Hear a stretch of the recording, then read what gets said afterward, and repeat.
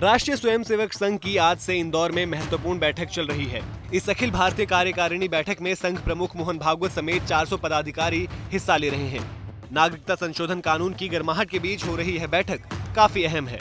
इंदौर से omni palace garden में हो रही इस बैठक में नागरिकता कानून को लेकर देश भर में बने माहौल पर चर्चा की जाएगी। इसके अलावा केंद्र सरकार के कश्मीर से धारा 370 हटाने और अयोध्या में राम मंदिर बनाने का रास्ता साफ़ होने जैसे विषयों को घर घर तक पहुँचने की रणनीति भी बनाई जाएगी।